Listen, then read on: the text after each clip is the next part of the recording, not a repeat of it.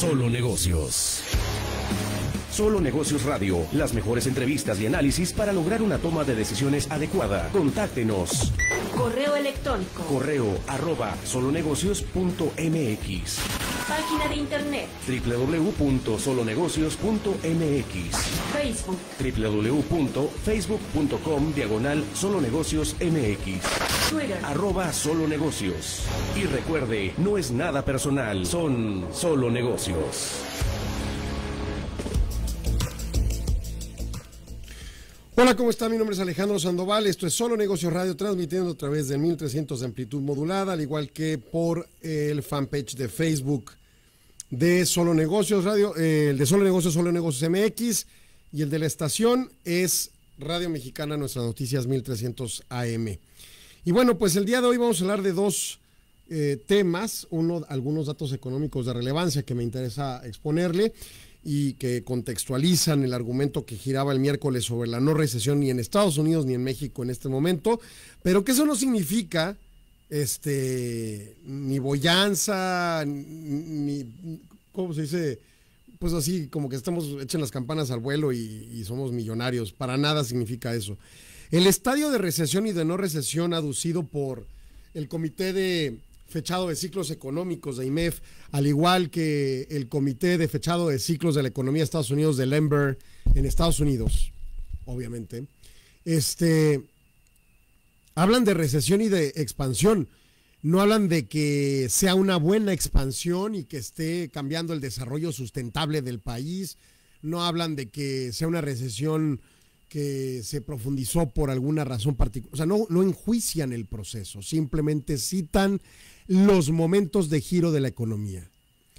Y por lo pronto, en este momento y desde junio de 2020, México no tiene un giro negativo, solo viene desde ese junio de 2020 en un un giro positivo en sentido expansivo.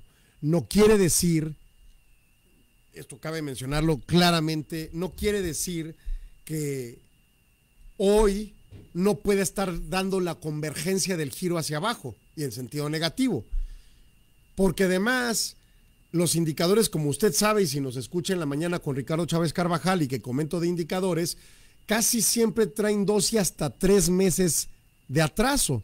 Entonces, los indicadores del mes de agosto lo estaremos dando a conocer entre octubre y noviembre.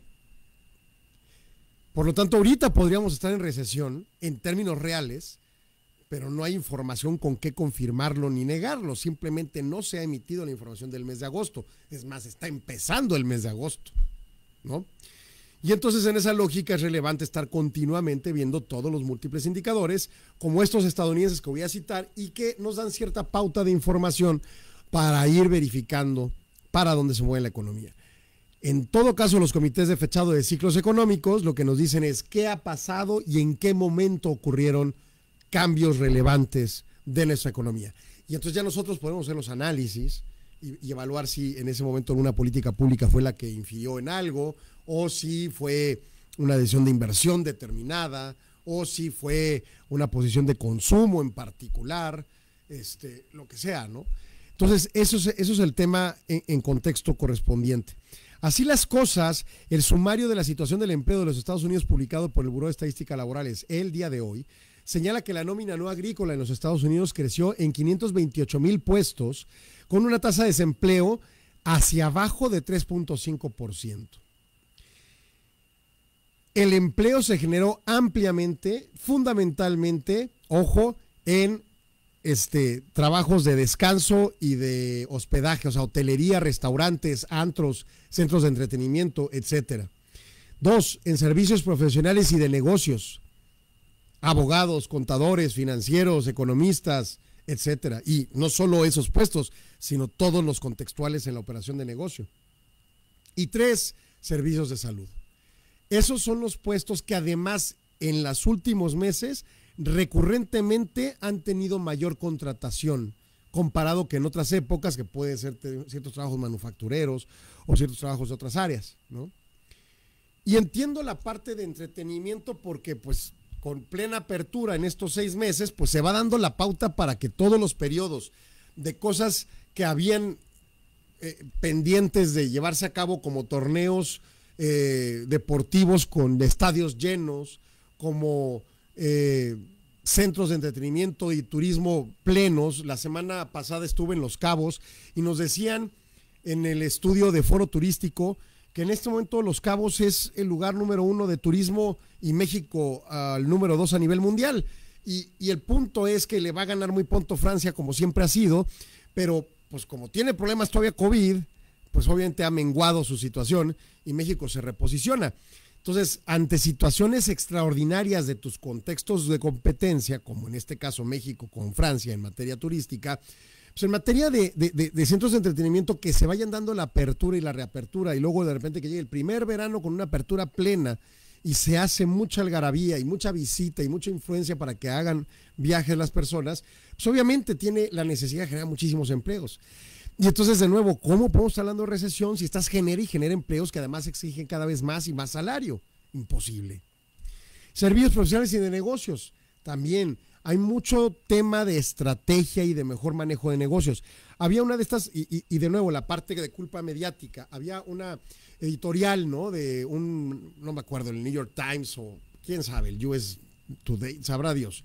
El punto es que había un este, ocho columnas en internet que decía que Walmart iba a empezar despidos masivos en los Estados Unidos.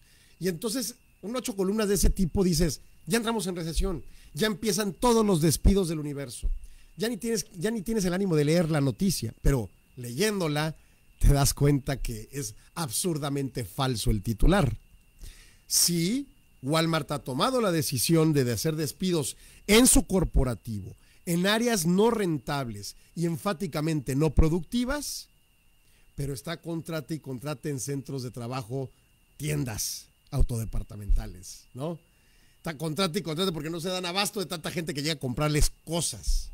Y entonces ya con la información completa dices, al carajo, ¿cuál recesión? Pero ahí, el, ahí el, la culpa mediática, ¿no? Le digo. En fin, el tema del empleo está muy por encima de expectativas. Expectativas rondaban este. ¿Dónde estaban? Espérenme. Se, se, tenían estimaciones hacia las 398 mil, fueron 528 mil. O sea, no se equivocaban por poquito, se equivocaban por un mundo, ¿no? Más de 130 mil puestos de trabajo extras de los que se tenían previstos. Y entonces, en esa lógica, pues simple y sencillamente vemos a la actividad económica estadounidense bollante. Sigue operando, sigue moviéndose. Ahora bien, la tasa de desempleo baja. Era 3.6% en junio, baja 3.5%. Es obvio, se genera más empleo, se contrae. Si bien solicitudes por, por, seguro de desempleo siguen subiendo, ahorita vamos a ese reporte, relativamente tienes ajustes poblacionales que dan pauta para que la tasa baje en ese alcance, ¿no? Y bueno, pues el punto en concreto es que hay demanda de mano de obra, hay eh, trabajo, hay puestos no subsanados, hay presiones salariales, el famoso tema este que también lo manejaron súper espectacular de la gran dimisión o la gran renuncia, ¿no? De todos los millennials ya están abandonando los puestos de trabajo y nadie quiere trabajar porque pagan muy mal y te tratan muy feo y en la pandemia te dieron la espalda y bla, bla, bla, bla, bla. Es falso. Sí hay gente que tiene la capacidad financiera para decir, oye, yo no voy a trabajar porque me gusta cómo me tratas. Qué padre. Qué, qué este, privilegiado tener esa oportunidad. La vida real te obliga a trabajar para comer. Y entonces, ante esa vida real, aún en los Estados Unidos, la gente está yendo a trabajar y se siguen demandando productos en los mercados y se sigue requiriendo más mano de obra y se siguen presionando salarios y se sigue, por supuesto, generando inflación. Y esa es la mecánica que estamos viviendo. Y sí, también hay indicadores que nos hablan que la inflación, lo dije el miércoles con el ISM, empieza un desapuntalamiento importantísimo en presiones de costos de cadena productiva que eventualmente, tarde o temprano, cederán en precios inflación de consumidor. El punto en concreto es el empleo en Estados Unidos, bien. Vayamos a seguros por desempleo solicitudes iniciales 260 mil con un alza de 6 mil respecto a la semana previa, aglomeración de cuatro semanas, del, en promedio móvil de cuatro semanas, todas las solicitudes vigentes, 1.375.250 con un alza de 11 mil. Está alto, sí, respecto al mejor hit que tuvimos en abril, que, que, fue así como que el mínimo histórico desde 1970, una cosa así. Este, pero estamos al nivel de junio, de perdón, de enero de este año, que, que, ya estaba bien, que ya estaba ajustado a los niveles ordinarios de seguros por desempleo solicitados semanalmente de alrededor de 200 a 300 mil. Incluso constriñéndonos a ese rango, pues ahora sí ya podemos hablar en, en comparativas de, decen, de, decenas de miles, cuál es el adecuado. O sea, 260 mil empieza a sesgarse negativo, hacia 240 mil está bien, pero estos números de 260 mil contrastados con los 5 millones de abril de 2020, pues estamos perfectos, ¿no? Y cuando vemos el aglomerado, que es el que a mí más me interesa en función de decir todas las, las, solicitudes vigentes en un promedio móvil de cuatro semanas, habla de un monto de 1.300.000. Está controlado el desempleo en Estados Unidos. Está controlado el desempleo en Estados Unidos. Sí, individualmente son 1.375.000 individuos que no tienen trabajo, pero tienen seguro por desempleo, así que tienen capacidad de consumo mínimo. Está controlado el desempleo en Estados Unidos. Oye, dos trimestres seguidos este, negativos, ya es una recesión técnica. Eso es falso. ¿Técnica de qué? Técnica la que hace la Ember y el Comité de Fechados Ciclos Económicos de IMEF para determinar cuándo es el ciclo económico.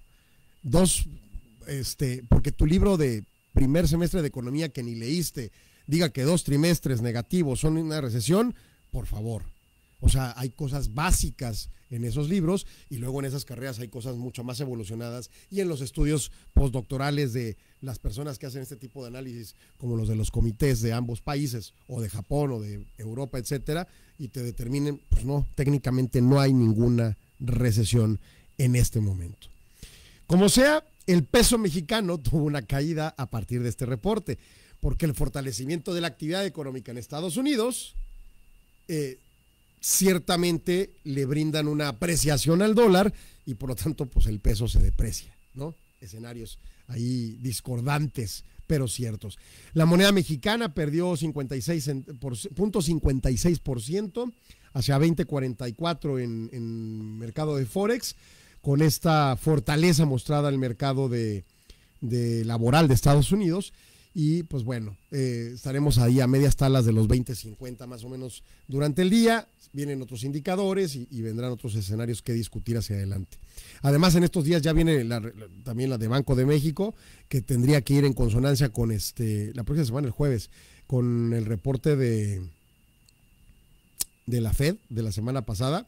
Entonces, pues bueno, eh, técnicamente pues los mercados estarán atentos de esos puntos, ¿no?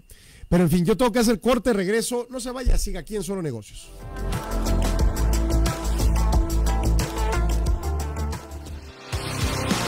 Regresamos, no se vaya. Continúe en Radio Mexicana 1300 AM con Solo Negocios Radio. Son las 4 con 14 minutos. Cada minuto de cada día, la Marina custodia y protege lo más valioso que tenemos, nuestra gente. Con el Plan Marina, trabajamos sin cesar en la prevención, auxilio y recuperación en caso de emergencias o desastres naturales y ambientales. Así, cuidamos tu bienestar y la riqueza de nuestros mares y costas para conservar el presente y el futuro de México. La Marina cerca de ti. Secretaría de Marina. Gobierno de México.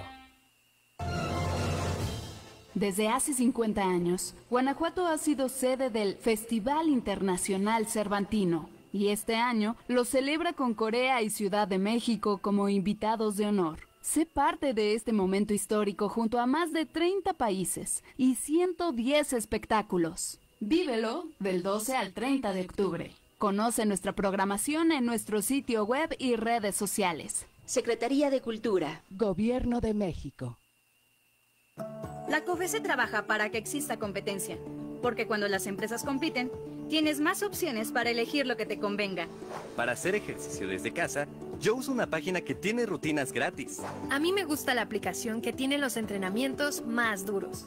Yo prefiero visitar el sitio con ejercicios personalizados para mi nivel. Con competencia, tú eliges.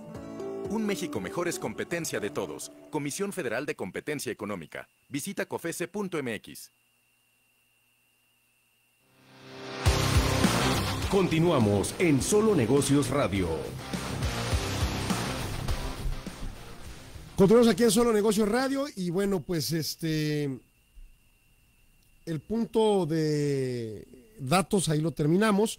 Nos vamos a el Tratado México, Estados Unidos y Canadá en función de múltiples efectos en su contexto. Número uno, el escenario del desaprovechamiento. Independientemente que se llame Temec o que era Telecán, este, encontramos un tratado que ha brindado a México oportunidad de jalar inversiones que no hemos sabido aprovechar de la mejor forma, pero que bueno, como quiera han generado una derrama económica y provocan sobre todo en insumos indirectos una gran oportunidad de, negocio para mexicanos, ciudades eh, del norte como, como este, Juárez u otras fronterizas, pues dependientes netamente de esa estructura de comercio exterior y en particular de las maquilas, pues teniendo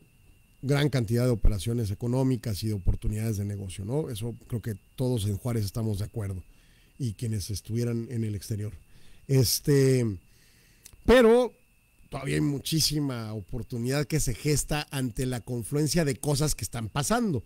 Desde 2018, si no me equivoco, cuando Donald Trump le declara como presidente la guerra comercial, que no es una guerra comercial, sino una posición de aranceles y bueno, este, a China, han brindado enormes oportunidades que algunos sí se han aprovechado, en algunos casos con el advenimiento de inversión china y otras de retracción de algunas líneas de producción estadounidenses, muy pocas a mi gusto. Pero con la pandemia y el problema de los cuellos de botella, se empezó a hablar muchísimo del famoso nearshoring, que relocalización en español, por cierto, este, y, pues la oportunidad, ¿no?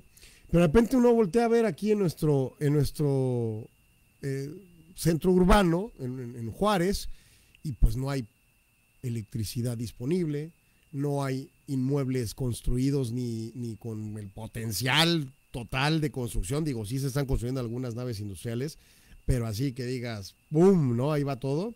O reconversión de las existentes viejitas. Este, nada, ¿no? O sea, no hay eh, el nivel de inversión que se requiriese para poder lograr atraer inversiones. Y entonces, pues otras regiones lo pueden, lo pueden jalar. Sí se tiene muy en el fondo, en la perspectiva Trump, eh, la idea de la retracción de inversiones a Estados Unidos, el Make America First Again o como se llame.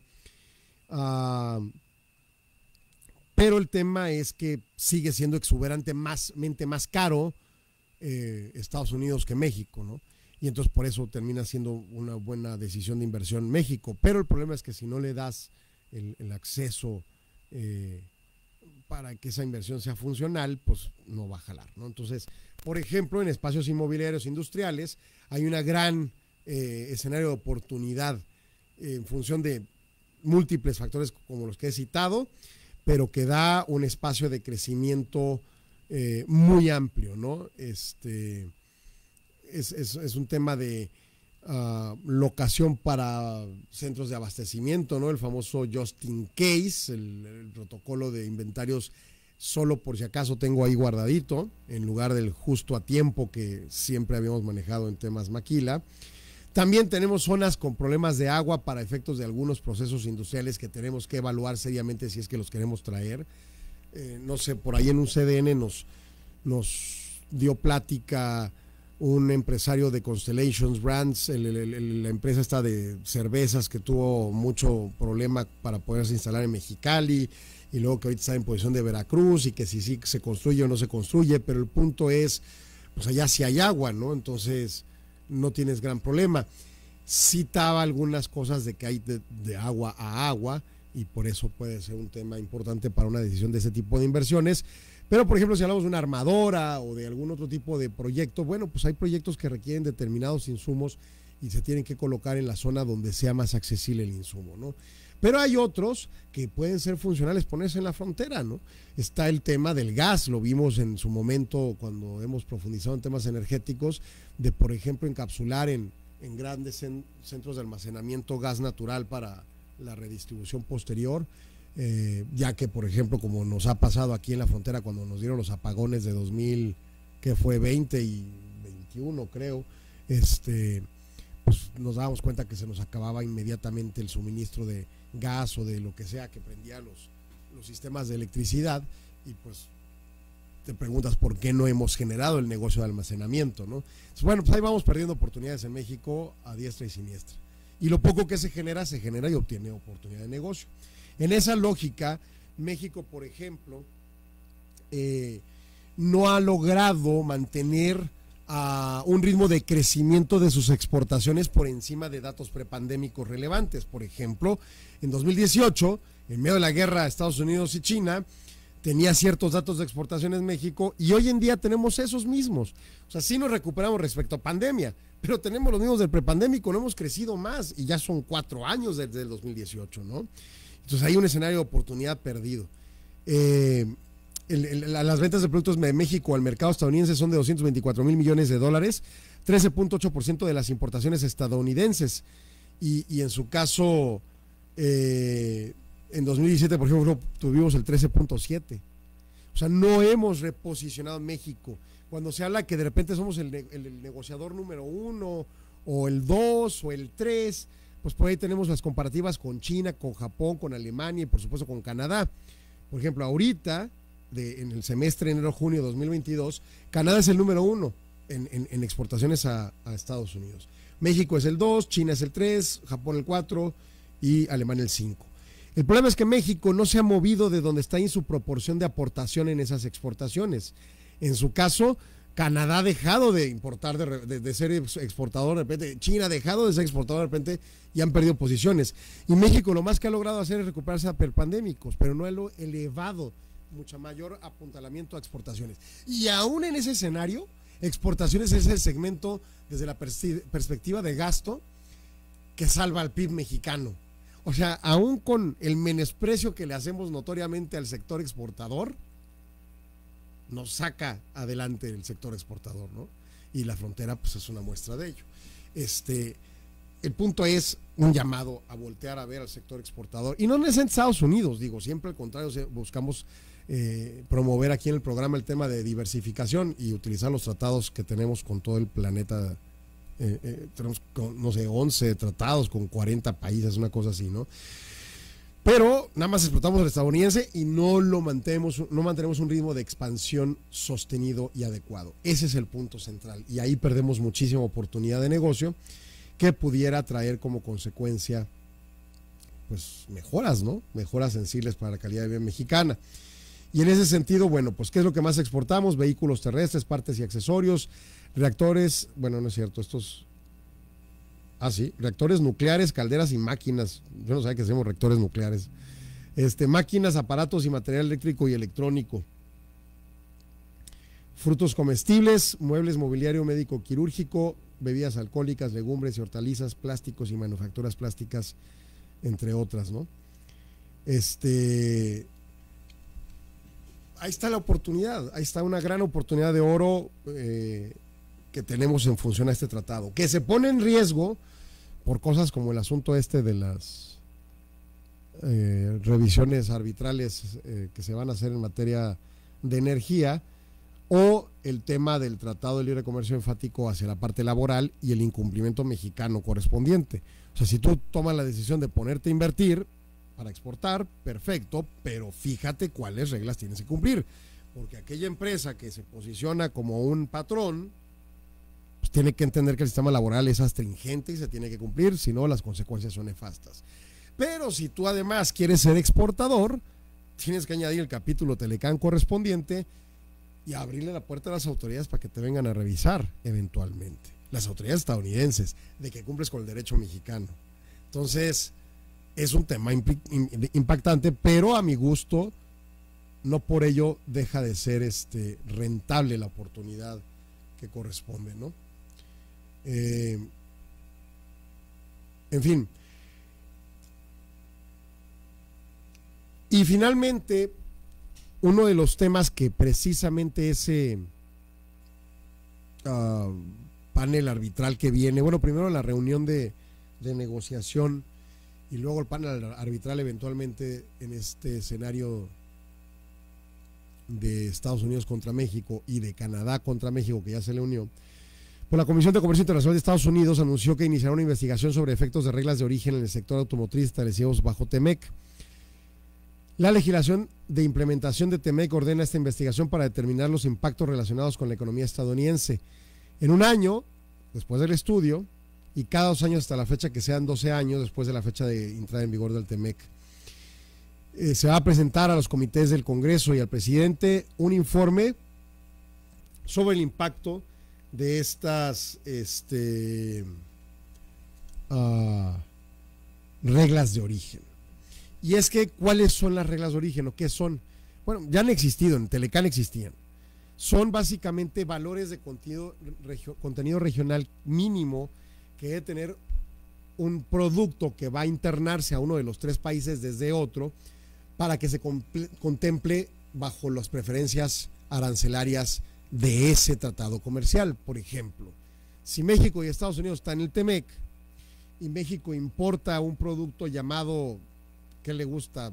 Computadora, esa computadora para que entre con cero aranceles como beneficio tratado, tiene que tener un, tenía que tener un cierto porcentaje, que no me acuerdo, creo que era 62.5% de insumos hechos en Estados Unidos, Canadá o incluso México.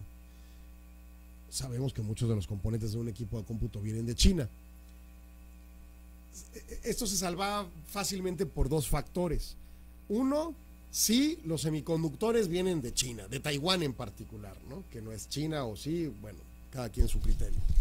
Este, pero el tema era que esos semiconductores y en esa computadora y esos chips y esas cosas que le pegaban y lo que sea que traiga, valía probablemente menos del 10% del precio final de la computadora, el precio de valor de mercado. Y el precio se construía en el resto por su capital intelectual de construcción, o sea, toda la patente.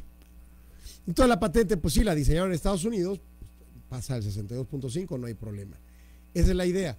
Ahí suena como sesgadón el asunto, pero sí es cierto, porque al final de si tú pagas 1.500 dólares por una computadora, por ser un ejemplo, pues los chips y los plastiquitos y los vidritos de la computadora quizá valgan 150 dólares, 200 dólares máximo.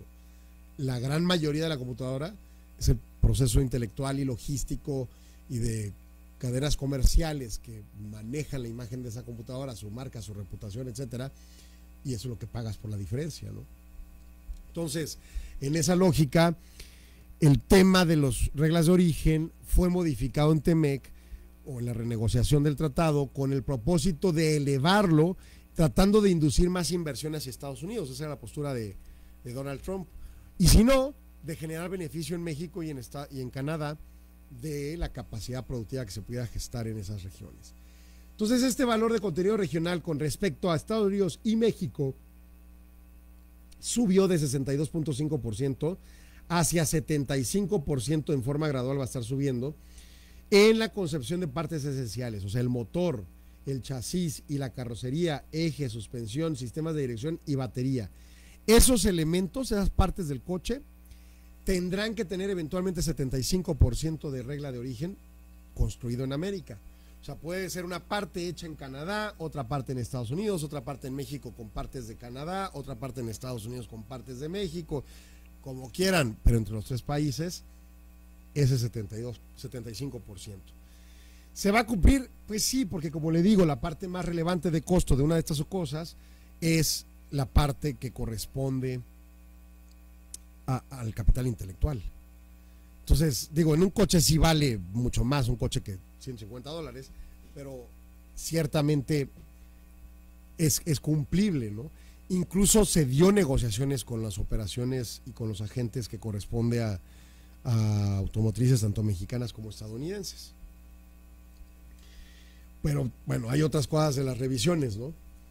Por ejemplo, ahorita vamos a 69% y va a llegar a 75% en 2023, es lo que nos dice aquí. También hay un componente de que en la construcción de autos y camionetas tenga que ser construida una proporción importante. No tengo el dato aquí, pero no me acuerdo si el 20, 25% del vehículo. En un lugar donde el salario promedio sea más de 14 dólares por hora. Y pues nosotros no pagamos que 260 pesos son como 13 dólares por día. Pues estamos lejos, ¿verdad? Ahora el dato es promedio. Tienes que incluir también el concepto salarial de los directivos y demás que hay en la planta mexicana. Y este pues aquí hay plantas con, una gran proporción de ingenieros, ¿no? Entonces, ahí tendría que evaluarse de quién vale qué argumento. Ah, ya me, me pasé para el corte. Perdón, Arturo, vamos a corte, regresamos y seguimos con el punto.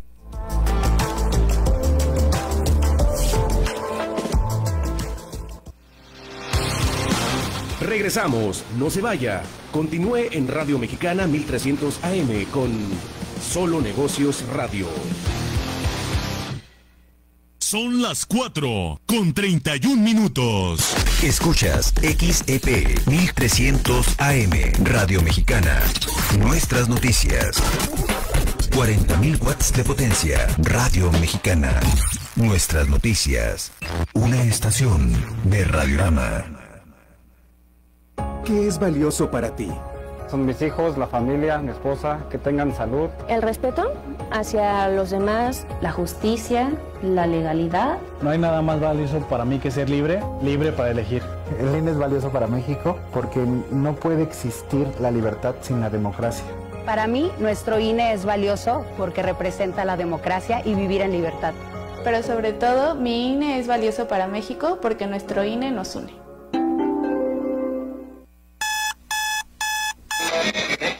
Noticias. Noticias. Entretenimiento. Entretenimiento. Deportes. Deportes. Salud. Salud. Cine. Espectáculos. Análisis político y deportivo. Todo en una sola estación. Todo en una sola estación. Contenidos para todos los gustos. Radio Mexicana. Nuestras noticias. 1300 AM. La radio hablada, número uno en la frontera. Continuamos en Solo Negocios Radio. Continuamos en Solo Negocios Radio y bueno, pues nada más para cerrar el tema Telecán. Entonces, ciertas reglas de origen se aplican en ciertos casos. Para vehículos son más marcadas y Estados Unidos, independientemente del llamado arbitral de panel de, de la materia eléctrica, aparte del capítulo laboral que ya hace revisiones, ahora va a estar haciendo revisiones y evaluaciones del manejo de los certificados de origen, que no haya trampas. Y está bien, a me parece pues, correcto, es la regla y el mandato que se ordenó para ese tratado. En tal sentido, adelante. Solo, igual que lo decimos siempre, cuando hablan de mayores derechos laborales, perfecto. Que se asigne días de paternidad mayor, que se asigne más vacaciones, que se asigne más aguinaldos lo que gustes, pero todo cuesta y los costos eventualmente nos llegan en precio a nuestro consumo. No asumir la responsabilidad que corresponde a ese argumento es seguir siendo demasiado infantiles. Y una cosa es que, exaltemos nuestro niño interior y otra que nos hagamos tontos en que el gobierno o las empresas no deben de subir los precios cuando todos los costos se empujan de manera constante, aglomerada y continua. Ese es el punto central. Estados Unidos, ¿quieres aplicar tajantemente norma laboral? Estados Unidos, ¿quieres aplicar tajantemente norma de certificado de reglas de origen? Adelante, perfecto. Pero asume los costos, porque no hay nada gratis. En fin. Ahora quiero hablar de la norma número 0 37 en proyecto en este momento de la Secretaría de Trabajo y Previsión Social, que es las normas regulatorias del cambio normativo en Ley Federal del Trabajo del teletrabajo mal llamado home office. Y habla enfáticamente de las condiciones de, de, seguridad y salud que se deben de brindar al trabajador que trabaja desde su hogar para los efectos de la aplicación de esta norma. Y miren, en, el, de hecho aquí en el, este, ¿cómo se llama? Exposición de motivos, señala que estas medidas de la, de la, del teletrabajo se regularon de manera mucho más acelerada que lo que se tenía previsto desde antes, se tenía en la mesa la, la discusión, por las medidas adoptadas por la contingencia sanitaria COVID-19, en donde el trabajo a distancia demostró ser un mecanismo efectivo para el debido cumplimiento de actividades laborales, privilegiando la prevención de contagios, además de haber propiciado la generación de eficiencias y beneficios a empresas y trabajadores, que lo implementaron debido a la disminución de desplazamientos, reducción de ausentismo y posicionamiento de tecnologías de información y comunicaciones como instrumento principal para el desempeño de las funciones. Este es el problema de los legisladores. ¿no? Esto lo publica, quien es el titular es Omar Nasif Estefan Fuentes, quien es el presidente del Comité Consultivo Nacional de Normalización de Seguridad y Salud en el Trabajo. O sea, es un funcionario que, que, que tiene con fundamento la Ley Federal del Trabajo y dirigiendo este comité. Eh, publica, no tiene la obligación de hacer la publicación.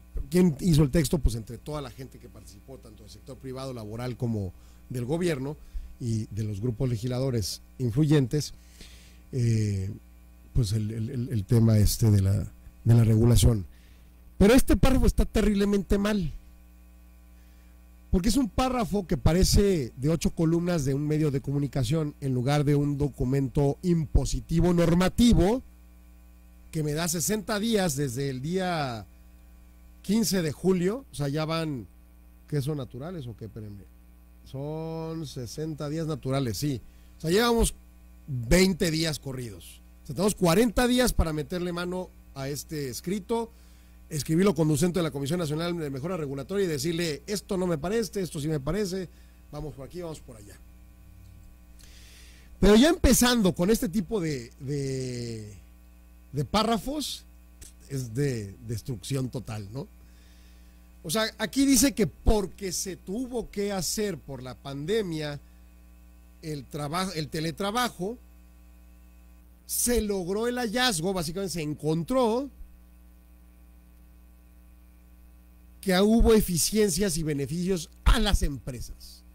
O sea, significa todas. Y no es cierto eso si hubo elevación, digo, acá ratito veíamos algunos argumentos a favor y otros en contra de si hubo elevación de la productividad, en otros lados no.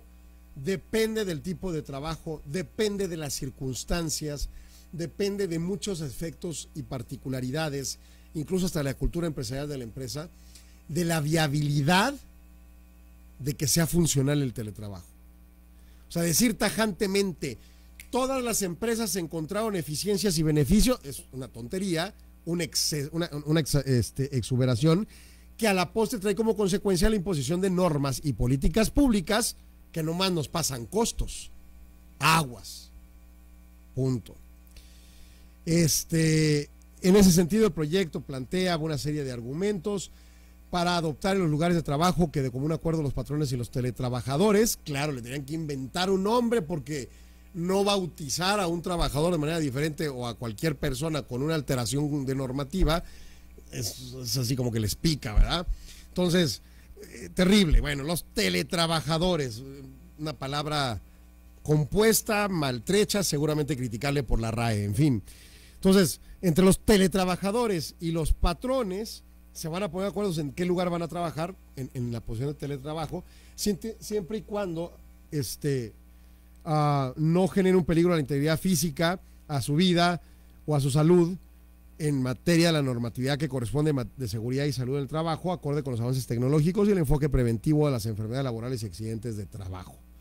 Y entonces el proyecto se fundamenta para la reforma del artículo 311 y adición del capítulo 12 bis de la Ley Federal del Trabajo que se publicó el 11 de enero de 2021 y que va a regular toda esta relación laboral. Y el énfasis marcado, por supuesto, es el de las este, condiciones de seguridad y salud en el trabajo. Y bueno, pues aquí está. En general, este, esta, esta norma va a fundamentarse en las comisiones de seguridad e higiene, o sea, una empresa que tenga teletrabajadores, me choca el nombre, pero bueno, trabajadores en esta condición este, de teletrabajo, tendrá que hacer la comisión mixta ya no estén con cuentos de que si soy empresa chiquita o mediana o grandota. Van a tener que ser la Comisión Mixta de Seguridad y Higiene y a partir de ella regular lo que corresponde a la empresa en concreto esta, de la que estemos hablando, lo, lo conducente. Dos, se tiene que basar en la norma 30 sobre servicios preventivos de seguridad y salud en el trabajo. Y tres, ahí le va completo el argumento de la elevación de costo. En la norma 35 de factores de riesgo psicosocial, mal llamada la norma antiestrés. Así que si usted desde el 2016 que sabemos de la norma 35 y desde el 2019 que entró en vigor y desde el 2020 que es sancionable su inaplicación, usted no ha hecho nada, pues más vale que se ponga las pilas, porque si tiene teletrabajadores, o trabajadores en teletrabajo, mejor dicho, tiene que aplicar no solo la 35, sino la 19 y la 30, como puntos esenciales de, las aplicaciones normativas, ¿no? Este. Y, bueno, pues aguas con las definiciones porque son normativas y si alteran respecto a definiciones previas, pues también importante, ¿no? ¿Qué es accidente de trabajo? ¿Qué es un acto inseguro? Eh, ¿Qué es un agente? Que no es el, como desde una perspectiva comercial, sino es un elemento físico, químico, biológico, mecánico que puede afectar la vida, salud o integridad física de los trabajadores. La carga de trabajo, énfasis marcado en norma 35 las condiciones inseguras, las condiciones peligrosas, los factores de riesgo ergonómico. Eh, esto ya es norma 20, quién sabe qué, o 37, creo, 36, no me acuerdo cuál era la de ergonómicos, ¿no?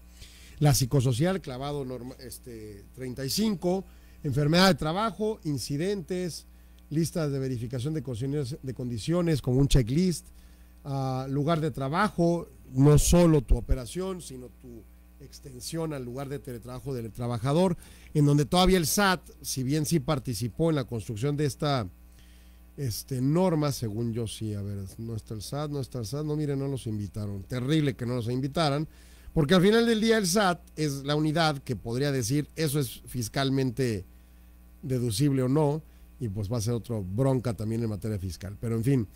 El punto es que pues aquí se normalizan todas las definiciones de, una, de unas palabras y por ejemplo, el teletrabajo es la forma de organización laboral subordinada que consiste en el desempeño de actividades remuneradas en lugares distintos al centro de trabajo, por lo que no se requiere la presencia física de la persona teletrabajadora en este caso, utilizando las tecnologías de información y comunicación para el contacto y mando entre la persona teletrabajadora y el patrón. Ya me dio miedo la definición. Chéquese. Una gran cantidad de, de empresas en México, en Juárez, sus trabajadores no trabajan en el domicilio de la empresa, patrón sino van, instalan cosas aquí y allá y acullá. Y no hacen expresamente un teletrabajo por tecnología, por medio de tecnologías de información y comunicación.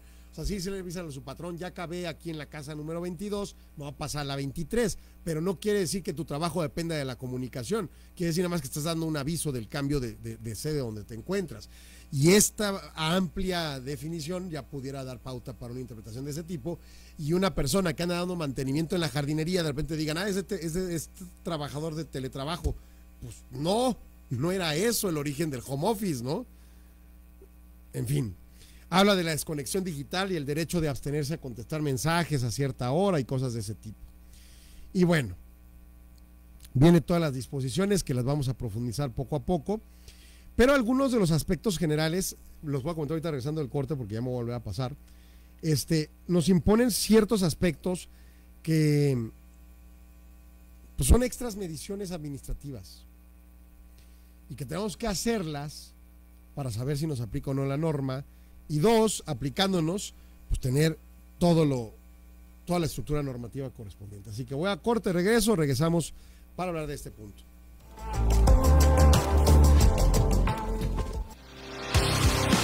Regresamos, no se vaya. Continúe en Radio Mexicana 1300 AM con Solo Negocios Radio. Son las 4 con 45 minutos. ¿Qué? ¿Navidad? En Juárez se adelantó la Navidad para que puedas ponerte al corriente con tu predial. Por lo que en todo el mes de agosto no se cobrarán recargos. Puntos de pago en las cajas de catastro, cajas de la tesorería en la presidencia municipal, módulos en los centros comerciales cajas en las estaciones de policía. Aprovecha, regularízate y duerme tranquilo, porque Santa llegó a la ciudad. Gobierno municipal, refugio de la libertad, custodia de la República. Gobierno municipal invita. Sorteo Juárez 2022. Cruzada por la educación. Participa y llévate a casa un coche último modelo. Los boletos tienen valor de 100 pesos y los puedes encontrar en todas las cajas de tesorería en la presidencia municipal y en los módulos en centros comerciales. El ganador será elegido el 16 de septiembre. Lo recabado será para mejorar las escuelas y la educación en Ciudad Juárez. Sorteo Juárez 2022. Cruzada por la educación. Gobierno municipal, refugio de la libertad, custodia de la República. Les habla Jazmín Ibarra Trejo, reportera y conductora de noticias. Para mí la noticia son todos los hechos relevantes que impactan la vida cotidiana de las personas. Por ello, la importancia de estar bien informados. La radio nos permite no solo dar a conocer a la comunidad sobre los acontecimientos de la ciudad, el país y el mundo, sino también conectar con la audiencia y ser su voz. Escúchanos en el informativo NN Nuestras Noticias de la tarde, de lunes a viernes a las 5 de la tarde a través de Radio Mexicana. Nuestras noticias, 1300 AM, la radio hablada, número uno en la frontera. Continuamos en Solo Negocios Radio.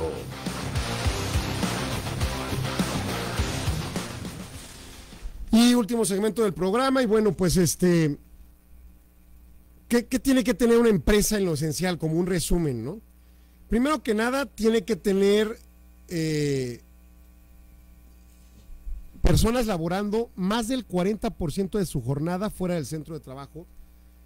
Y, así lo está poniendo muy abrupto, ¿no? Y a mí me parece que esto es un riesgo gigantesco, porque además, más del 40% de su jornada, ¿cuál es la jornada? Diaria, la semanal, la mensual, la anual. Hay quien trabaja casi todo el año en su, en su lugar de trabajo, su centro de trabajo, llamémosle, y de repente tiene un viaje y, hace cosas en ese viaje este, algo de tiempo, ¿sí? Meses puede ser incluso. Oye, el 40% puede pasarse. Mensual, semanal, diario. Bueno, veremos en las disposiciones normativas, pero en principio me parece que lo dejaron muy abierto.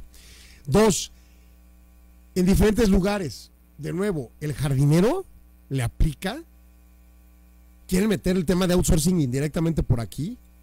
¿O efectivamente estamos hablando del teletrabajo como trabajo de oficina que te mando a la cafetería de, la, así de, de, comercial o de tu casa o saliste de vacaciones relativas o dijiste yo quiero trabajar desde la playa o desde el rancho pero voy a trabajar en ciertos horarios ok ahí vale el argumento del teletrabajo.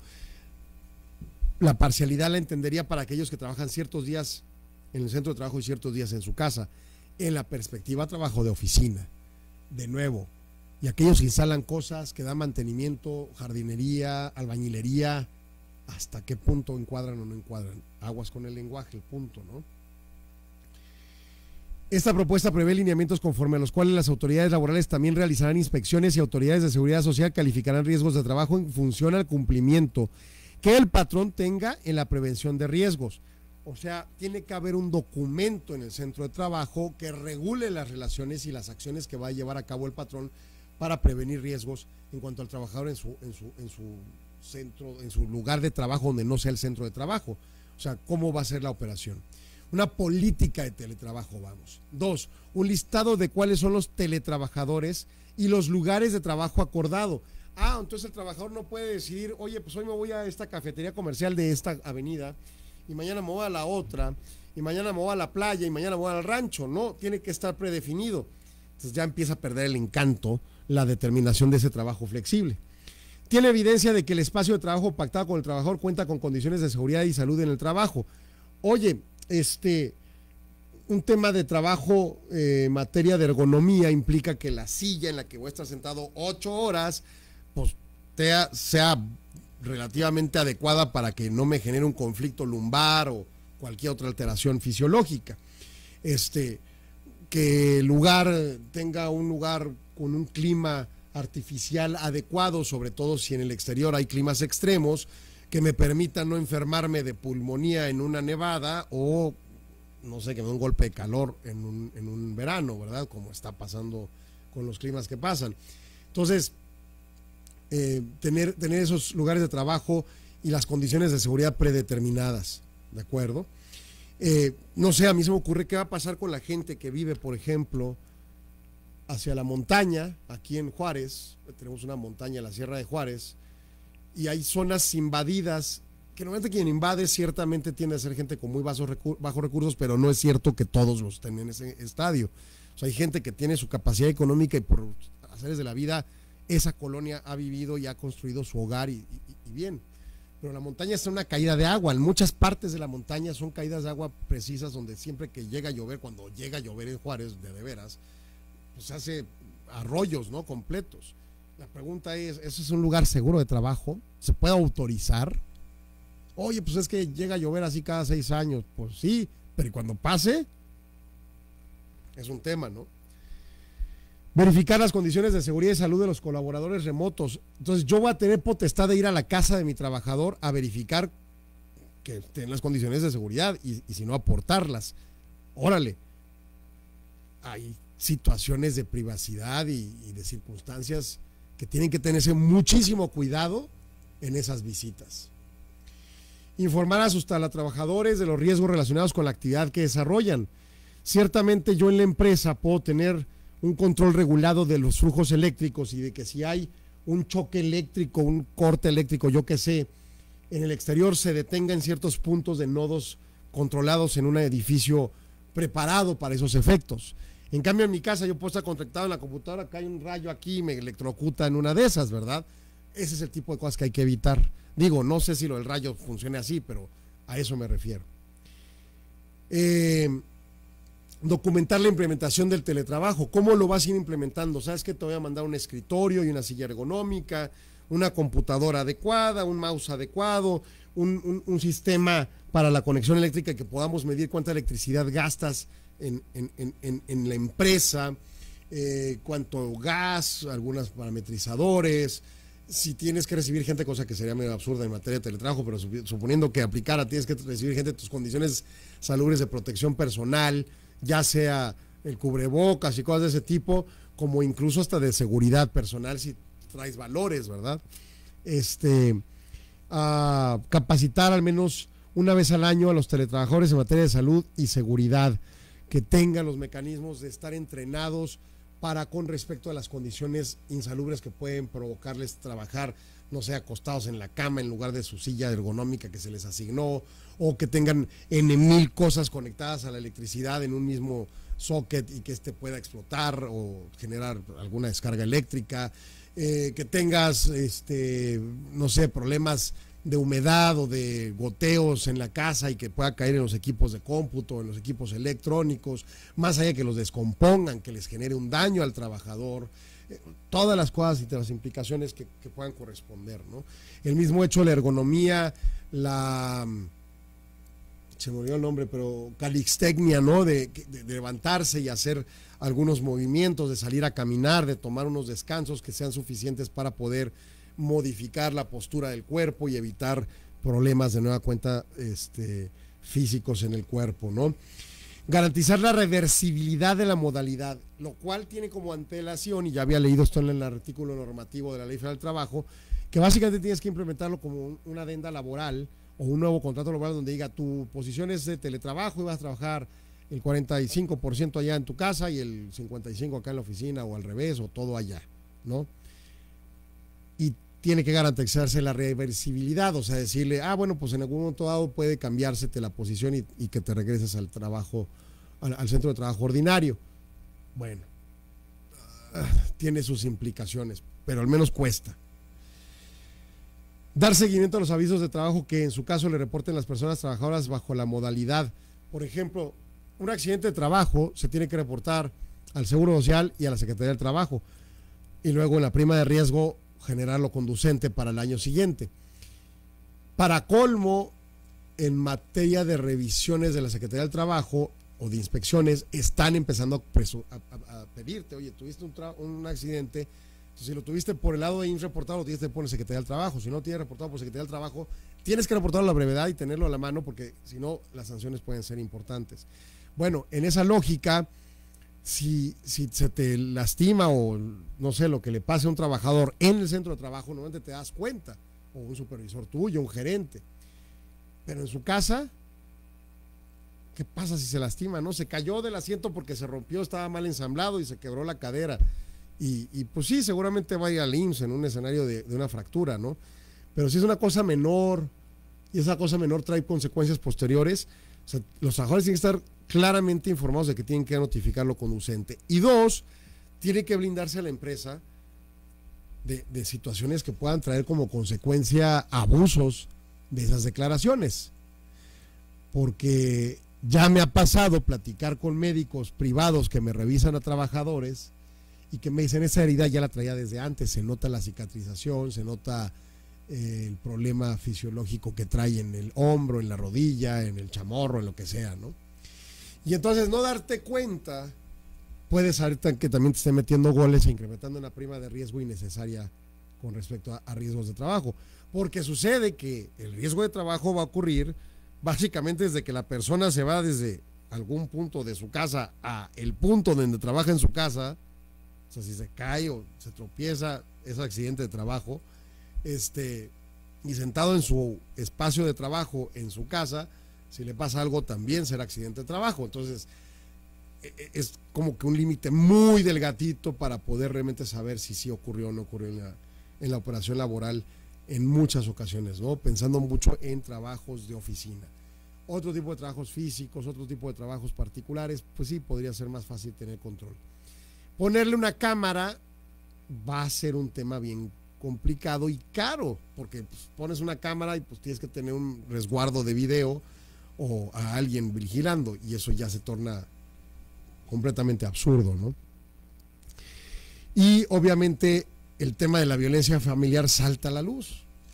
Oye, ¿qué pasa con las familias? Digo, nos lo decían jueces de lo familiar en algunas pláticas durante temas de la, de, la, de la barra de colegio de abogados y algunas otras eh, entidades que, que, promovieron durante la pandemia, cómo estallaron la cantidad de conflictos familiares por tener todos los días a la pareja todo el día encerrados.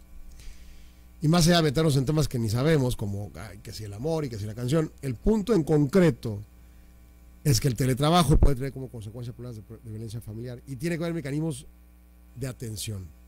Son cosas que no son culpa de la empresa, pero de ocurrir las personas tienen que estar informadas de sus alternativas de acceso a la justicia y de cómo evitar esas circunstancias. Muchísimo más control de las empresas. ¿Qué riesgos detecta el, resumen finalmente?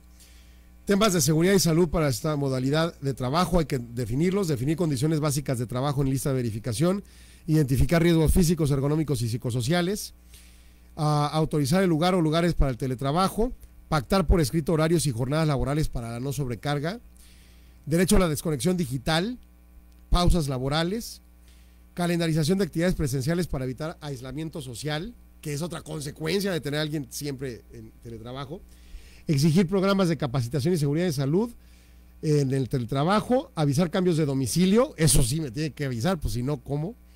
y este mecanismo para hacer reversible la modalidad de teletrabajo remoto. A mí me parece muy complicado que vaya a hacerse cumplido eficazmente en el país. Para colmo, yo me imagino que las revisiones no solo van a ser en el centro de trabajo, sino también en la casa de los trabajadores. Así que cada día más hace sentido la constancia de situación fiscal con el domicilio correcto del trabajador. Es todo lo que tenemos. Que pase un excelente fin de semana. Mi nombre es Alejandro Sandoval. Muchas gracias, Arturo. Nos escuchamos el lunes en punto de las 4 de la tarde con Guillermo Soria Magaña en el espacio de Conafi. Que la pase excelente. Hasta pronto.